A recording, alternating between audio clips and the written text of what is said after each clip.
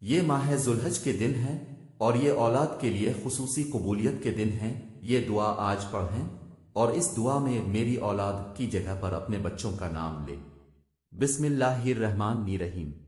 اس دعا کے ساتھ کہ اے پروردگار، میری اولاد کو اس حال میں مجھے عطا کیا۔ جب میں بہت ناتواں تھا، اسی لیے میری اولاد کو اپنے پناہ میں رکھنا، کیونکہ میں ان کو پناہ دینے میں طاقت نہیں رکھتا۔ یہ پروردگار میری اولاد کو ہر برائی، شر اور نقصان سے محفوظ فرما۔ اے خدا میری اولاد کو ہر بیماری سے محفوظ فرما۔ اے مہربان رب، میرا امتحان اور آزمائش میری اولاد میں قرار نہ دینا۔ اے پروردگار، میری اولاد کو اپنی آشکار اور پنہا آزمائشوں میں کامیاب فرما۔ اے رب کریم، میری اولاد کو اپنے صالحین میں سے قرار دے۔ اور میری اولاد کو دین و عبادت و اخلاق میں بہترین لوگوں میں سے اور زندگی میں سعادت مندوں میں سے مقرر فرما۔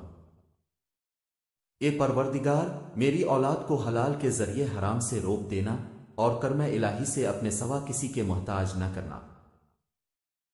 اے رب رحیم، جس طرح اپنی کتاب پاک کی قیامت تک حفاظت کرنی ہے، میری اولاد کو شیطان کے شر سے محفوظ رکھنا۔ اے مہربان رب اپنے پاکیزہ ترین بندوں کے ساتھ دوستی اور قرب اور اپنی ذات پر توکل میری اولاد کو نصیب فرما۔ اے پروردگار، وہ تمام بیماریاں جو روح و جسم کو نقصان پہنچاتی ہیں، میری اولاد سے دور فرما اور اپنے ارادہ خیر کے ذریعہ مجھے توفیق فرما کے میں اپنے بیٹے کے لیے بھترین امیدیں اور آرزویں کروں اور ان دعاؤں کو قبول فرما۔ اے پروردگار، مجھ تک میری اولاد کا احسان اور نیکی میری اپنی زندگی میں مجھے نصیب فرما اور ان کی دعاؤں کے ذریعے مجھے موت کے بعد خوشی اور سکون عطا فرما۔ اے رب، اے رحمان، اے رحیم، میں اپنے بچوں کو جو میرے جگر کا ٹکڑا ہے، تیرے سپرد کرتا ہوں۔ جس وقت وہ میری نظروں سے اوجھل ہیں، وہ تیری نگاہ کے سامنے ہیں۔ انہیں اس عظمت کے ساتھ محفوظ فرما جو تیرے شام میں ہے آج وہ دن ہے کہ جس میں والدین کی دعا اولاد کے حق میں قبول ہوتی ہے۔ اے پروردگار، وہ جو میری زبان سے نہیں نکلا، لیکن تیری حکمت و علم سے پوشیدہ نہیں ہے، وہ عطا فرما۔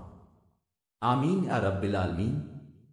آپ اپنی اولاد کے لیے ان مبارک دنوں میں دعا کیجیے اور اس میسج کو ہر ماں باپ تک پہنچا دیں۔